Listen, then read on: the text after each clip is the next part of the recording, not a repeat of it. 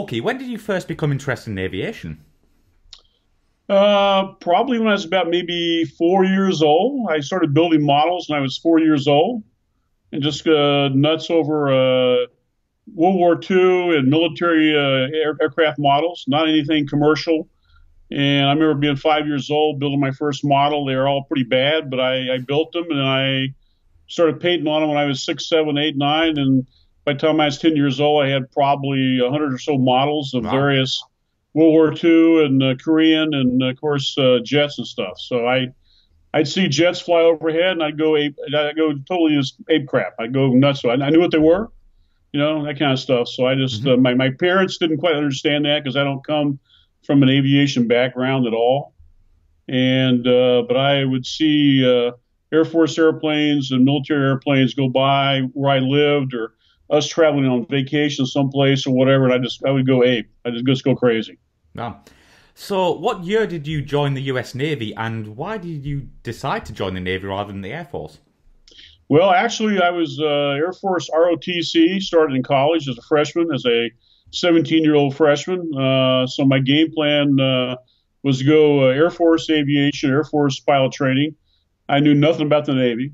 And so I'm going all the way through Air Force and college. And uh, basically, the fall of 72 was my senior year at school, Oklahoma State University. And I was in FIP program, uh, which is a flying indoctrination program. Uh, started flying Cessna 150s I was first in my class, a solo at about five hours, you know, just trucking along, was loving it. I mean, just crazy about it. And all of a sudden, the war ended in Vietnam, and all of a sudden, uh, Air Force came into our class the next day and said, hey, all those going to pilot training in a year, stand up, not so fast. And they basically completely closed down the program. They said it'd be a year before you start flight training. Uh, they're allowing guys uh, out of the Air Force ROTC program. I was scholarship. Uh, I could have left. Uh, they're letting guys out left and right, just you know, sign off their their uh, scholarship tu- tuition, no problem. And I'm going like, I don't want this. I want to go like right away. I'm going to graduate in December. I want to go. So my colonel uh, at the time said, Hey, says uh, you're the choice. Go to the Navy. And I'm like, I know nothing about the Navy whatsoever. So I go down to the Navy and sign up and take their test and pass their test, flying colors took their physical, and by December, they said, "Hey, we got you in a class uh, down in Pensacola in April of '73." Uh, you know, basically, you know, a few months later. And I said, uh, "I'm in. I'm in." I, I, knew nothing about what I was getting into at all. And then a week prior to me going to Pensacola, the Air Force called and said, "Hey, we got a class date for you at uh, at uh, Williams Air Force Base, and we'll commission you back in December." and uh, you're ready to go. And I said, nah, you guys screwed me once, may screw me again, so I'm going to the Navy. Wow. And okay. I walked in the Navy uh, just uh, fat, dumb, and happy, and uh, away I went. And it actually turned out to be the best deal because I would have made a very lousy Air Force officer. Brilliant. So, can you tell us some of the aircraft you started training on in the Navy? Well, I got down to Pensacola, uh, I started flying the T 34 Bravo uh, you know, the mentor and uh, flew that. And uh, I'd had I'd flown a little bit with my my uncle who had a had a, uh, Cessna uh, Beechcraft. Uh, I guess, I'm sorry, a Beechcraft, a V-tail, and I'd flown it about maybe five hours worth, but I, I just sat in the right seat, didn't do anything. So I showed up down, down Pensacola in VT1 with uh, minimal flight experience, but I I knew this is what I wanted to do. You know, I, I never gotten air sick or anything. Uh, I had gone through uh, summer camp in the Air Force uh, July 1970 and August 1970 at Little Rock Air Force Base, and I flew in the back seat of a T-33, which I just I thought that was better than sex. I, I mean, it was awesome. I was just so sold on being a, a, jet guy, so I knew what I wanted. So uh, I got 25 hours worth of uh, T-34 time. I told my instructor I was the, his first instructor. He was a jet guy, so he was not happy being there as a primary instructor for little coneheads like I was. You know, coming from jets, and now he's a flying T-34s. And I said I want jets, and I'll do anything to get jets. And so he worked me pretty hard. And uh, back then, uh, grades didn't go in until you soloed. And I soloed, got my check ride, and I soloed. My grades went in. And you know, one week there might be uh, five jets. The next week there might be no jets. So it was all kind of haphazard.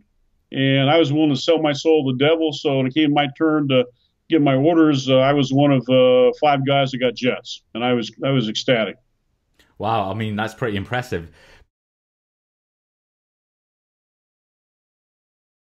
But uh, so, what was your first frontline aircraft and squadron? Uh, well, I went down to Beeville, got my wings, flew the A4, and uh, I'd gotten uh, my orders uh, at the time. Uh, I was number four guy out of about 35 people that got their wings in our in our orders. So my fourth choice was A4s, and so they're going to send me to Lemoore and VA 127, which was a A4 uh, squadron going for the Hancock, you know, on the Air Wing uh, mm-hmm. 19 flying Super Foxes. And so I had the CQ. And so I was, that's okay, fine. That's not what I really wanted, but you know, it's, it's a combat airplane. Okay, it's gray. And then basically, as I started the, the CQ process in the training command, they came back and said, "No, we got all our pilots we need for uh, Air Wing 19. Uh, you're going to go to VC Squadron." So I go like, "What? What's a VC Squadron?" So VC Squadron, I went to VC5 Det Cubi, which is in Cubi Point, Philippines. At the time, they had TA4Js and A4Ls, and the A4Ls were older than I was. They were all, uh, you know, late 50s, early 60s airplanes. They were an A4 Charlie with, except they had spoilers on them, and that made them Limas. So they're A4 Limas with the J65 uh, engines that had about 6,500 pounds of thrust. Uh, they were very, very uh, anemic, and we'd load them up with full drop tanks and then carry a, say, a thousand pound centerline AQM missile that other guys would shoot at, and we'd take off on a hot uh, 100 degree day in Cubi and just would get off in about 7,000 feet. I wow. mean, just you keep the flaps down until you pass uh, the mountain range there in Cubi because you just couldn't climb out. It was real, real doggy. But you know, it was uh, it was fun. It was single seat, and uh, got to do a lot of stuff doing that. Well, it had a fantastic roll rate uh, for what it was. And of course, the A4 Limas, uh, you know, they were very, very underpowered, big time. But then when I started flying against the A4F, the Super Fox, and then later on started flying the Super Fox, where basically you got uh, 11,300 pounds of thrust in the P408 engine. The airplane empty weight's like 12.5, so you're about 0.95 to 1 thrust to weight ratio. And the airplane was just a, a rocket, a super rocket to fly. Mm-hmm. And uh, you would take off in the A4F with, say, a Hornet on your wing, and you know, you'd start your takeoff roll and you'd water his eyes because you're airborne about a thousand feet and you're already 300 knots and you're walking away from the guy. Wow. And this guy's always come back and go like, wow, man, we saw you took off roll and you were burning rubber. And go like, hey, the airplane's uh, got a lot of weight, you know. And, and again, the A4 is, is such an old, grumpy looking little airplane that when you go against, say, F-15s, one time we had a det down at uh, Eglin – and we fought some of the big uh, guerrilla boys down there that had some MiG kills and F-15s, and we go out one v one with those guys and just eat them alive because they just couldn't believe that they could crawl in the phone booth and not muscle their way around. And of course, Super Fox just loves that. You know, it's it's a great one v one airplane, and out there running around with half flaps and about 85% thrust, uh, you know, power setting. You just uh, walk inside of them and turn inside of them all day long. They, they understand that. Bloody hell, yeah. So, so like, thrust awesome. Yeah, so I mean, you, you, you, mentioned there like DACTs against the F-15s. Would uh, the A4 typically outmaneuver like the the types of the time? You know, the F-16s, the F-18s.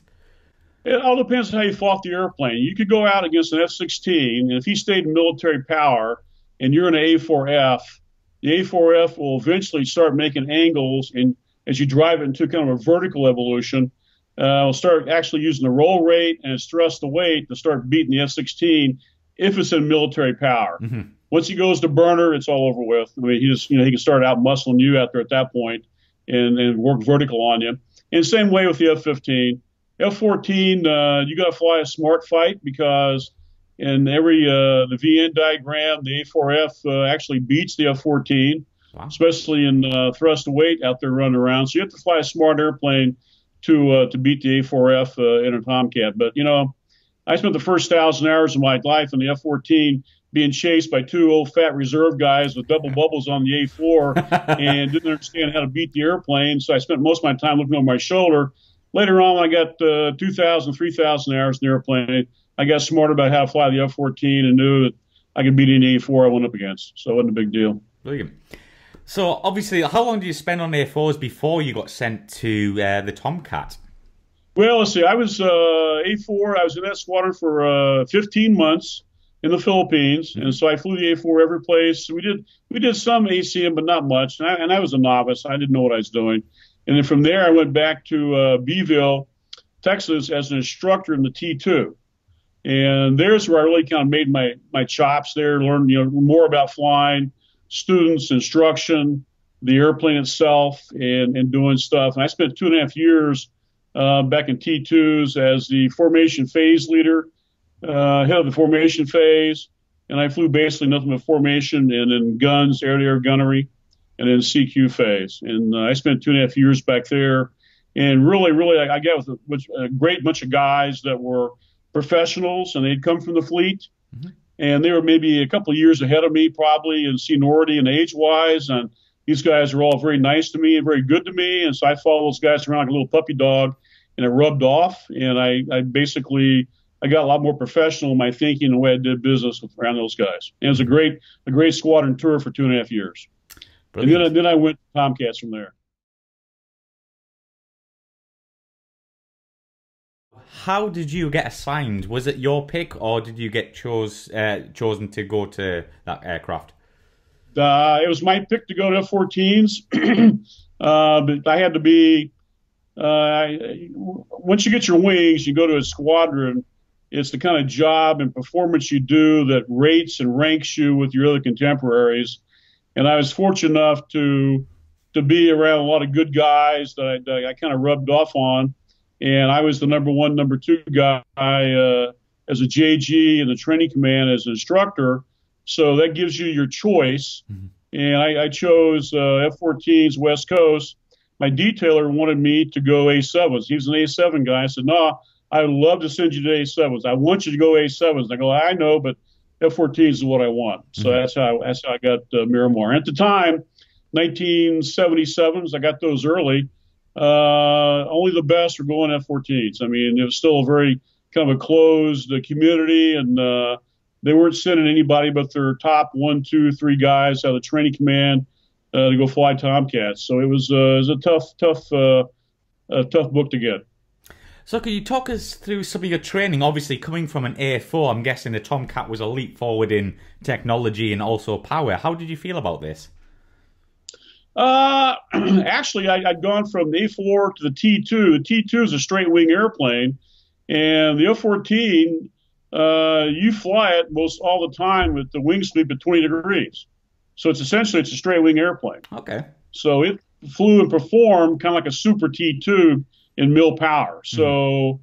as far as just flying the airplane around and, and doing stuff with the airplane, it was very similar to the T2, being a straight wing, except I had a lot more thrust to play with. And then, you know, learning the weapon system and learning how to utilize the RIO in the back seat was a big learning curve for you because you, when you fly single seat, you know, no one sets you down and tells you, well, here you're with a RIO now, so here's what you need to be doing.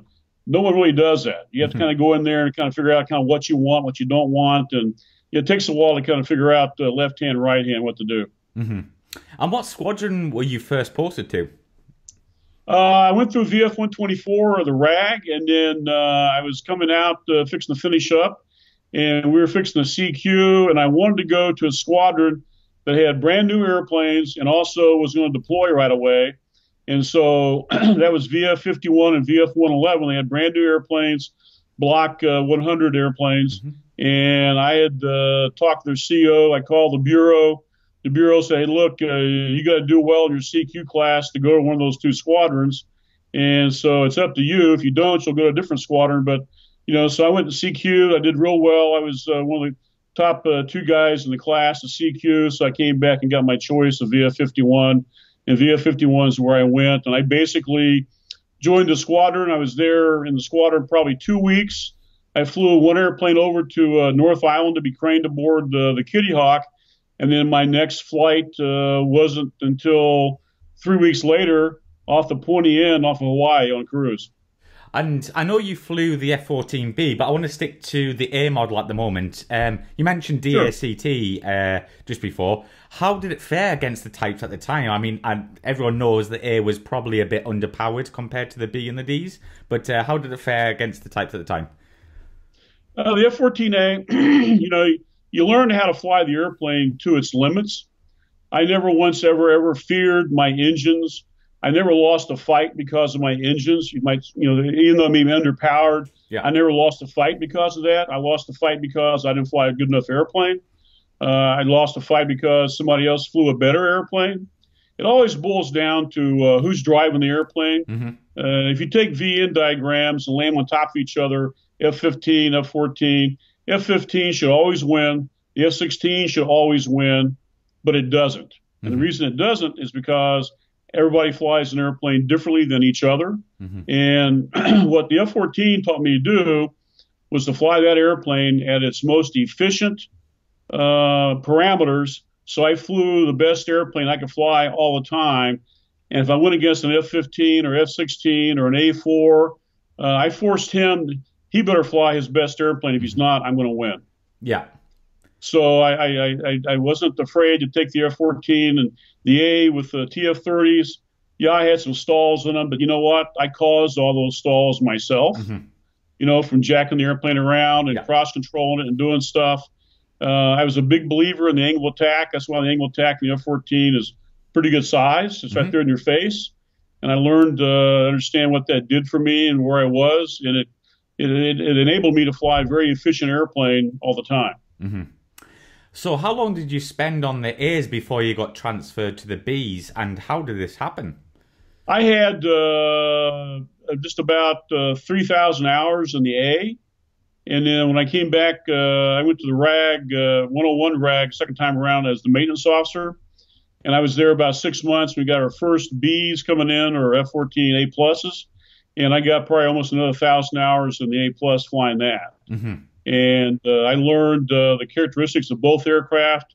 Uh, with with the engines, you had the GE 101 engine and the B. Of course, you had a TF30 in the A. Uh, one had a uh, you know a, uh, a, a, digital fuel control. The other one had just a normal mechanical fuel control. And I learned what that did. And we started flying what would happen is we'd take guys coming through like VF24, VF211 coming through, transitioning to the B, getting rid of their A's. We'd give them uh, three hops in the B, two FAM hops, and then the third hop would be a, a 1v1 against an A. Mm-hmm. And I'd take them out in the A and literally clean their clock because I knew in certain areas that the A could outperform the B wow, really? slow.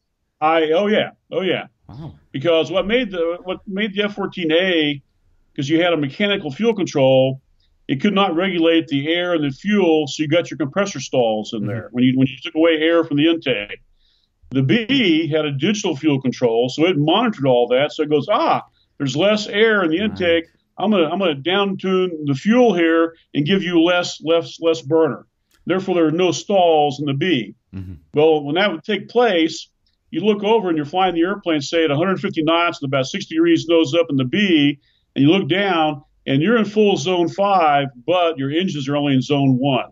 Wow. Okay. Because the digital fuel control recognizes the fact that it's only got limited air in there. So I'm going to give you limited fuel so you don't over torque and stall the engine. Hmm. Meanwhile, over here in the F 14A, you got a mechanical fuel control. It doesn't know. It's dumb.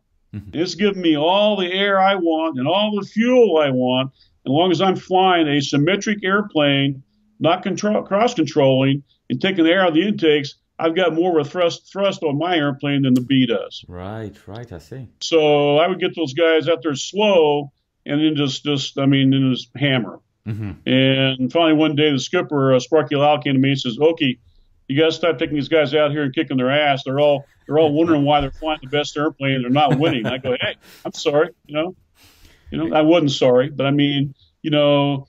I, I learned from flying F-15 guys that their main their main thing they do is lock their left arm in full burner and go, okay, you know, God take care of me now. Well, that's not going to do it. You know, mm-hmm. if I'm mm-hmm. flying a better airplane out there, you can have your left arm locked up in full burner. And I'm still going to still still beat you out there. So, mm-hmm. you know, it, it takes guys to fly a smart airplane know where their airplane performs the best. Mm-hmm. Is what was the difference between the A and the B? Was it literally just the engines, or was it also avionics? Well, avionics are all the same. uh, the B had the the, the B had the F one GE F one hundred one engine, which is about uh, 23, 24,000 pounds of thrust, depending on kind of where, what you looked at. Where the F fourteen A was 22, but had been down down tuned to about 17.9, okay. just because of the stall, engine stall stuff you had in the airplane. So they kind of detuned it, so you had a lot less thrust. Now, granted, uh, you could power yourself around out there in the F-14B as long as you kept it around 300 to say 400 knots. Uh, you're in a good regime out there. You're always got zone five. But you take an F-14A and run it to about 45,000 feet and put it in full burner, it will go and it will actually go faster than, than the B will go. No way, really. I'm really surprised about yeah, that. Yeah, because the ram air the ram air effect just keeps putting this keeps pumping more thrust, more thrust, more thrust, and mm-hmm. uh, you know I, have had the F-14, even the F-14B down low, say at 100 feet, doing like 1.3, and I got I got to pull it back because mm-hmm. it wants to go faster. I mean, the F-14 loves the ram air effect in the intakes, mm-hmm. and just keeps putting out more thrust and more thrust. And of course, aerodynamically, the wing starts swooping back on you. Next thing you know, you're, you're flying arrowhead. You know, it's, it's moving yep. along. And I've had a few questions from our Twitter and Facebook followers, and they they keep on asking me, how did the F-14B fare against you know the types at the time? Did you fly against the RAF, uh, the, the French? Uh, what was it like? Uh, we never did any of that too much. We uh, I wasn't uh, when we I, I, made my cruises in the Med, we were in F-14As and VF-31, and we didn't do uh, much. There were guys down at Decimomannu, you know, down there against the Air, uh, the uh, Brits and stuff, but we didn't do a lot of a lot of inter-service uh, fighting stuff. I, I know some squadrons went against Israelis, and the Israelis were very, very uh, particular about what they wanted to do. They wanted canned setups, and they said, as long as nobody takes pictures of someone getting gunned out there. They don't want that. Okay. And that was okay for about maybe a week or so. And then pictures started showing up with F 14s and the gun sights of the F 15 guys, you know, Israelis. And those, those are all off of canned setups. And then the air wing said, okay, enough of that crap. From now on, uh, when you do that, we're going to drop our hook. So okay. once you drop the hook down, you show you're not out there really fighting the airplanes. That kind of put a put a spank X on the Israelis in doing that because they, they they wanted the publicity they didn't want their young lions going out there getting their butts kicked, you know, basically. Yeah, of so, course, of course, you know. yeah. And um, so I'm going to ask you, it's probably maybe a bit difficult for you, but uh, no, no, no, no, no. before we move on, uh, which did you prefer flying, the F-14A or B? Uh, I, li- I like the B just because it was newer. Mm-hmm. But, you know, I, I, found out from being all the hours in the Tomcat, especially when I was maintenance officer, that you more the more you flew the airplane, the more it stayed up and flew. Mm-hmm. So even even an old A that would be, you know, old, and we and we got transferred from some squadron who it had been a hangar queen. We may spend you know a month getting it ready to fly, and then once we take it for a test hop, it stays up, and after that we flew it. And once you flew it all the time, it stayed up all the time. So I really didn't care because I had pretty well learned in flying the A where to fly it the best. Mm-hmm. And one of the uh, the best compliments I got one time was uh, down in Key West in a 2v2 um, against VF45 down there, uh, F16 and an A4F. And I had a student on my wing. We are both flying two F14As. And uh, the F16 it was an N model two seater. In the back seat, they had Monroe Smith, who used to be CEO of Top Gun. At that time, he was uh, AirLant Chief of Staff, and he came down just to, just to spend a week or so in Key West and fly and we went out there and fought the uh, the VF-45 guys against them, and we came back from the debrief, and uh, the instructor looked at me and said, "Hey, Okie, uh, nice job flying the F-14B today." And I said, "Well, uh, I didn't have a B, I had an A." That's probably the best compliment you can probably get. Absolutely, yeah, absolutely. So, um, I've heard from your son James that you were perhaps the third or fourth uh, highest rated you know, in terms of hours on the F-14. Is this true? Yeah, probably about 3,900 hours. I thought I had wow. 4,000 at one time, but I had two logbooks, and one of them was the same logbook, the same hours on it, so I discounted that one there. And I ended up leaving with about 3,900 hours uh, Tomcat time. Pretty amazing, Okie. Pretty amazing. Well, and, that's uh, all front seat time. Myself and Dale Snodgrass. And the Snort has another thousand hours beyond that, and uh, to have two pilots have that much flight time in the Tomcat is, is pretty amazing. RIOs can probably get that a little easier, but yeah. they kind of ride in the back. But pilots, uh, you're busy driving up there all the time. So yeah, so, so very fortunate. Absolutely.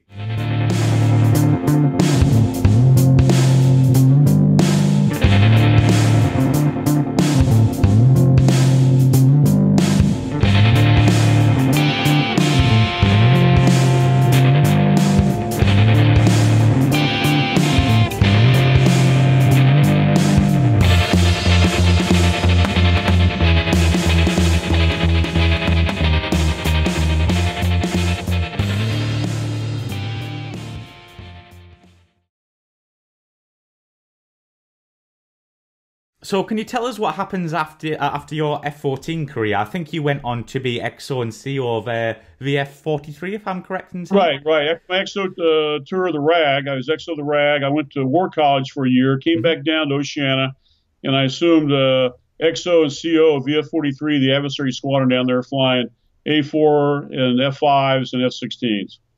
So before we move on to the F5 and the F16s, can you uh, describe what the aggressor squadron was actually for? Well, what we would do, we would have uh, we had your basic uh, like kind of like street corner, you know, ACM uh, training there for the for the fleet squadrons, and then we'd run uh, FARPs, Fleet Fighter uh, Air Combat Readiness Program, where they'd go through a six week course with one v ones, one v twos, two v twos, two v minis uh, for the whole squadron, and then they go through a it's all the TACTS range, and all the all my guys were all trained to to score them and grade them. And then into the, the FARP thing, they would come out and get a grade for every every crew, every pilot, every RIO, the grades for them, that kind of stuff going through. And it was a very extensive, very uh, in-depth, detailed debrief for all the guys to to do and go through that prior to them going on cruise. Because once you go on cruise, especially in ACM, uh, the day you leave is, is the day that you're probably most qualified to do ACM, and every day after that, you get worse and worse and worse because there's really no assets on cruise to go do ACM. And so by the time you get home, you can get beat up by your sister in a in a balloon probably out there because you're just not used to doing stuff, you know, basically. Yeah. So the guys, uh, my guys would uh, we do daily ACM stuff with the RAG with students, training those guys, and then we do uh, the FARPs and stuff with uh, the fleet squadrons. Brilliant. So the F5 has also fascinated me. What was that like to fly? The F5, to be honest, was kind of a disappointment. Okay. I mean, it looks it looks great on the ground. Mm-hmm. Uh, it's basically your Volkswagen. You go out there, throw the keys in, you start it up, and you're gone. There's no INS to deal with. It's just, I mean, you can. We let the fighters take off at least 30 minutes ahead of us, and then we go out and man up and be right, right behind them. You know, and and just nothing to start up and, and taxi and get airborne. Uh, kind of heavy controls. It's hard to see. That's that's the only really plus it has. Uh, it had two J85 engines with afterburner on it, which uh, you know you could you could get Mach in it no problem, but that's that's just about it. You weren't going to run anybody down. Uh, its biggest attribute was probably just hard to see. And basically, my mentality was: you see the F5, you beat the F5. Okay. If you don't see the F5, it's going to beat you. And uh, what makes it so popular now is because, again, it's like a mousetrap. It never breaks. It stays up all the time. Very, very simple. And that's why the, the reserve squadrons, you know, VFC uh, 13, VF 111 down in Key West, have all gone to F5s because they're cheap to operate. Uh, they're very good uh, uh, force multipliers, so you can go out there in a 2VX and have no kidding X out there with five or six uh, F5s doing their thing, mm-hmm. and they're pretty simple to fly. You know, there's not a whole lot you can really get yourself in trouble doing with the F5 because you, it's tough to get the nose up because the nose is very, very heavy, mm-hmm. and once it goes up, it wants to stay up, and then to get it back down again, sometimes you can run out of slits or airspeed and be stuck nose up, and that's when you need to know your inverted uh, inverted pitch hang up uh, procedures. Uh, otherwise, you're going to probably spin one in. But other than that, it, it, was fun to fly. Like I said, again, heavy nose to rotate it on takeoff.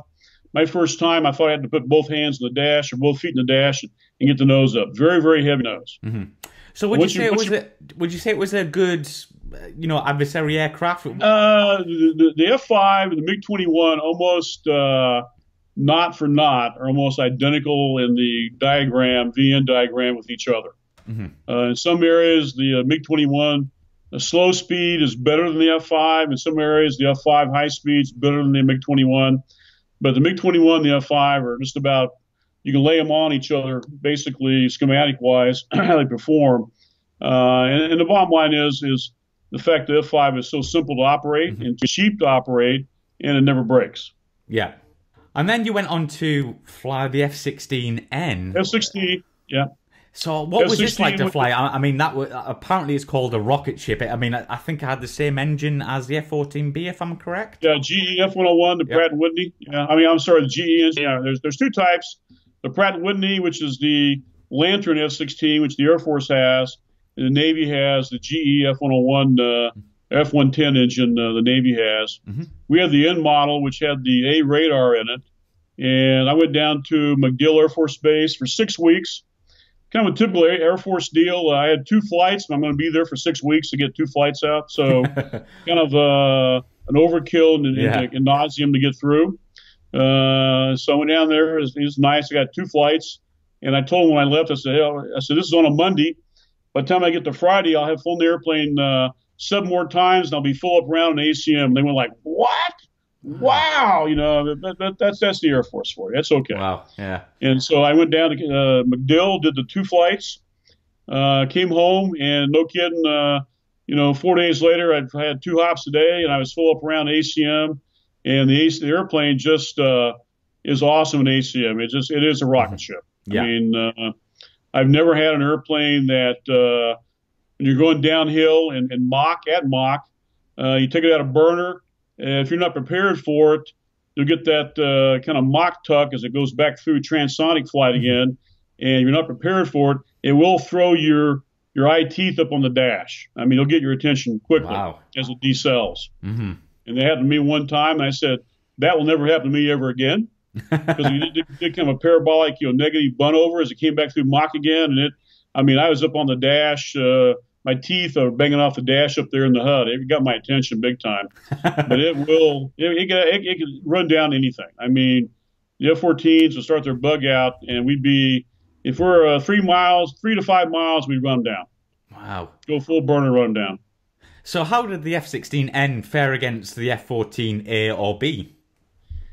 Uh, unfortunately, uh, again, if guys aren't flying the airplane smart, and of course the F-16 is uh, a different animal itself, uh, you can go out there and pretty well spank the crap out of them. Unfortunately, I mean it's it's no embarrassment because you know the guys that are flying the F-16 are really really good, mm-hmm.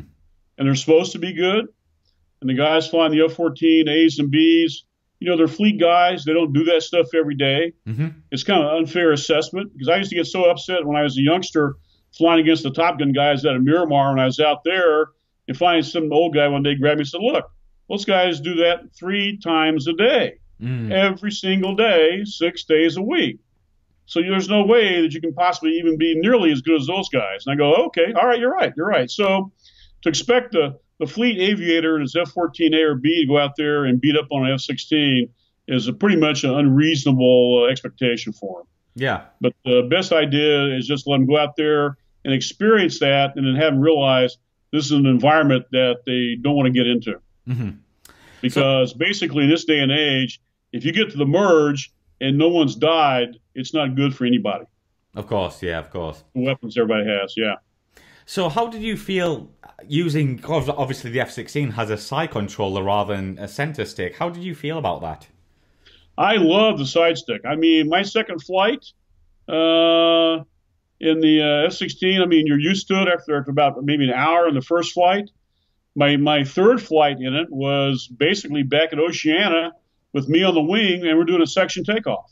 My wow. third flight, wow. and it does it does a beautiful section takeoff. I mean, you can just literally just slightly milk the nose up. It's so sensitive and so squared away. It's awesome. So I'm I'm a big side stick guy. I, I love side stick. Yeah, and how did you find the cockpit? I mean, was the F-16N was it still analog or did it have digital uh, glass screens at the time? It uh, it's uh, the F-16. The, the primary instrument on the airplane is the uh, attitude indicator up on the on the dash mm-hmm. itself. Mm-hmm. Vice the F-18, the HUD is the primary instrument. Uh, instrument uh, for the for the F-18 is the HUD. Mm-hmm. So for the F-16, it's all analog and uh, you know you digital attitude indicator in there. That's really it was, it was fine. It was no problem. Mm-hmm. The thing you need to get used to is when you sit in the cockpit uh, the canopy rails go down to your waist. Really? So when you're flying, yeah. So when you're flying IFR in, in clouds, you know, the common tendency is for a guy like you're flying F-14s, just kind of get kind of hunkered down and kind of get you know lower in the cockpit and see the instruments. Well, the F-16, you're up there in the clouds. You're right there in the clouds yeah. on both sides of you. So it's a little bit different uh, thinking. So you had to really concentrate to as you lean back, seeing the, the, the instruments up here in front of you to make sure you're squared away. Mm-hmm. But once you did that, uh, it was a great cockpit. I, I really uh, liked it. It's very roomy and comfy. The first time I got into it, uh, I kind of fell into it because they don't really show you how to get into it the first time, but you actually kind of bite, back your butt into it first. So, because I'm all, and you're used to going up there and again slinging yourself kind of your one leg over mm-hmm. into the cockpit and sitting down that's not how you get into F-16. You actually kind of crawl up on the rail and sling your butt in first and bring your right leg up over the HUD and back down the, the footwell, and you kind of back into it. And the same way when you get out, you kind of kind of back out of it, kind of crawl out of it the same way when you get out of it. Mm-hmm. And did you ever fly against, you know, the, the U.S. Air Force, or was it just strictly Navy? We flew uh, most all the time against uh, the Navy. I do remember though when I was in Tomcats. Uh, in VF 31, we went out to Hill Air Force Base and spent two weeks on an ACM det out there against the Air Force against their F 16s. And the Air Force flies their F 16s different than what the Navy does. Mm-hmm. You know, most all the Air Force, they put two tanks on them, and most all the F 16 squadrons, or almost probably all of them, are all air to mud types. So right, they yeah. really, really love dropping bombs. And when it comes to ACM, they're kind of a little bit foreign. And so they don't fly the airplane as probably demonstrative as the Navy does. Mm-hmm. You know, we love to fly the F 16, zero airspeed, 100 knots, 150, 16, 80, 90 degrees nose up, zero airspeed, go ballistic, go park it up there. And the Air Force, they get below 200 knots and they're, they're screaming, knock it off, knock it off, knock it off. Wow, okay. So it's a whole different uh, mentality. Yeah. And, and the F 16, I've taken the airplane. Uh, 150 knots, bring the nose full to 90 degrees, nose up, let it go ballistic. Uh, take the stick, go full forward, and stand on a rudder, and the thing will literally do a reversal pirouette right in front of you up there. Just swap ends. Wow, that it really is a powerhouse, thing. isn't it? Right, bloody hell. Oh yeah, so you're back at idle, take your full burner, slam it at idle, hit the the rudder, bottom rudder, and then bunt the stick over, and it'll swap ends right there, and you're back in the burner again. I mean, it's it's pretty amazing. Wow, we love doing that. I can imagine. the Air Force just uh, they they didn't understand that. They oh that's that's too slow. And I go well not really. I mean that's, we, that's we like it right there. Exactly. Yeah. And did you always fly uh, the F sixteen clean? Yeah, we did. We had the what we call the station wagon model, which is a two seater, and because it took off with about uh, two thousand pounds less gas than the mm-hmm. slicks, we put a, a centerline tank on it. And mm-hmm. I remember one time when I first got the squadron guys are complaining about flying the station wagon model, the two seater, and I'm going like, what? What? What is your problem? Well, six months later, I was complaining about flying the two seater because you, didn't, you, didn't, have the pitch pulse you had in the, in the two seaters you had in the slick. Wow. And at one or two degrees less, you know, in your mind, you thought it made a difference. You still could go out there in the in the TF16, the two seater, and still kick ass on anything that flew. Hell yeah. And many of our viewers and myself see the F 16N in these sort of Soviet colours. Was that on purpose? Uh, I think probably so. I mean, that's kind of funny. I mean, uh, the only people that get really kind of revved up over the paint schemes are you guys, you civilian types. Yeah, yeah. You know, the, the, the, us, we don't really care. I mean, yeah. we don't sit there and go like, "Well, gee, I'm going to fly the the Soviet Czechoslovakian paint job." We yeah, never look. We don't really care. Mm-hmm. You know, I, I, didn't notice that until I got to be uh, bigger on Facebook the last three or four years. Mm-hmm. When guys talk about bureau numbers, uh, what was the bureau number? we never looked at the bureau numbers. I couldn't tell you a bureau number from my own social security number. Basically, we never looked at that. You know, it wasn't, wasn't anything at all. Yeah, there's some big av geeks out there certainly look into stuff like that. So, okay, how long did you spend uh, flying the A4, F5, and the F16 with the aggressors? I was there uh, a little over two years, and then I uh, uh, have a change command, and then I went to the Eisenhower as a operations officer in the Eisenhower. Could you tell us a bit about that? Well, you know, you spend your whole career avoiding a ship's company tour because that's not uh, beneficial to uh, career enhancement sometimes. Mm-hmm. And I went there, and it was kind of a learning curve for me, of which I didn't like. So right. I spent a year there, and I said, okay, I'm done. I'm out of here. So, so that I was retired. You, that was you done, yeah. 96, so I, I, I had enough. I'm done.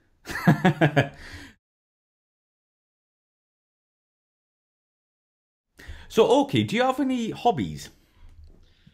Well, unfortunately, I, am uh, your typical Navy fighter guy. My, I, I don't play golf. Uh, I don't hunt. I don't fish. Uh, my uh, youngest son's got me into guns, so I, have got guns. I've got ammo, so I kind of fit that type. Mm-hmm. Uh, I'm into uh, diecast models. Oh, likewise, likewise. I, I, I, bought my first one about probably six, seven years ago and now I have so many, I'm embarrassed to tell you. So uh, I've got a lot of models, and uh, a lot of them I've got my name on the side that I flew, which is kind of cool. Yes, I think and, it is. Uh, sorry that? for interrupting you. Is it is Century Wings that you have your name on? I think it's by that uh, company. you're right. You're right. Yep. Uh, there's actually a 148 scale Hasegawa model, 202 a VF31 that has my name on that one there, and then Century Wings uh, has another VF31 uh, 202 is my name on that airplane there. And I bought that one there about three years ago because I realized my name was on it. I didn't know it. Wow. And I bought it, and now that, that model is now gone. There's no more left. You can't find them anyplace. So that must yeah. be a, an absolute privilege, though, to see your name on so the side. I, I, I, guess you can. I can be famous in my own little mind because I, I made it to the model world. You know. exactly. That is absolutely great, Okie. but uh, okay, so move on. So, uh, do you have? This could be a very tough one. A favorite aircraft you've flown in your career? I guess probably the F-14. I mean, I really just. Uh, you know, an airplane fit me, and I just uh, that's what I instructed in, and you know, I just thoroughly enjoyed. Uh, my my game plan was when I left my first squadron, mm-hmm. and I went to the RAG. Uh, I had about 1,200 F 14 hours, and I left VF 51, and I thought I was pretty damn good. And then I got to the RAG, and I realized I didn't know anything. I thought I was good, and I'd gone through Top Gun and thought I was really good. And I realized that looking back on it, man, I was average at best. And I said, I need to get better at this. And so I, I made it my mission when I was in the RAG as an instructor to be the best I could. And then after I was there a year, they made me the ACM phase leader for the next two years. So I ran the whole ACM phase in VF 101 for two years there, you know. So I, you know, they were paying me back as being uh, one of the best. And I got to fly the airplane all the time, ACM, you know, two or three hops a day. I made all the Key West dets. And as you go on from 1,000, 2,000, 3,000 hours, you really, really do know the airplane and you know where to fly it and how to fly it. And uh, it's a nice, nice confidence builder, self assured for yourself when you fly the airplane. Yeah, I think you're a very lucky man. I mean, I'm very envious, uh, especially of your F 14 and F 16 time. But uh, is there an aircraft you wish you could have flown that you didn't get the chance to? I wish I could have flown the F-15. I think the okay. F-15 is a is a monster airplane. Mm-hmm. I think that airplane just uh, I like the way it sounds. I like the way it uh, when it takes off the gear. Typical Air Force airplane, the gear come up in about two seconds. You know, our gear drag up real slow. You got 3,000 psi, bringing the heavy main mounts up. F-15 rotates, boom, the gear's gone in about two seconds. Man, they, they suck them up. Wow, yeah. It's got great thrust to weight and uh, great uh, weapon system inside there. So I would have loved to have been uh, an F-15 driver. But the problem is that if you do that uh, exchange tour, you pretty well take yourself out of the hunt. You, you kind of go off the beaten right. path. People forget who you are. You get a one-on-one fitness report, and it doesn't do you any good. And you come back, and sometimes you don't get back in the airplane again. So I, I didn't want to do that. Yeah. So before we go, okay, can you give us some stats? Like how many traps did you get in your career, and how many out of flying hours have you got? I got uh, 6,000 fighter hours. I got 850 traps. Wow. Of which about 300 of those are at night. And in my airline career, I've got probably counting my Navy time, I got about probably 24, 25,000 hours. Wow. So right up there then. oh, yeah, yeah. Well, that's a lot of time, though, airline wise, is sitting and eating. You know, you sit there and you eat, you know, that's all you do. So, yeah, of course.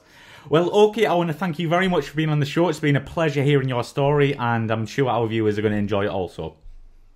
Well, I appreciate it very much. Anytime you want to do this again or anything else, please, uh, I'm, I'm willing. This is it's so it's so nice of you to do this. I really really appreciate it. No, the pleasure's all mine, Okie. Thanks very much. Thank you, pal. Bye bye.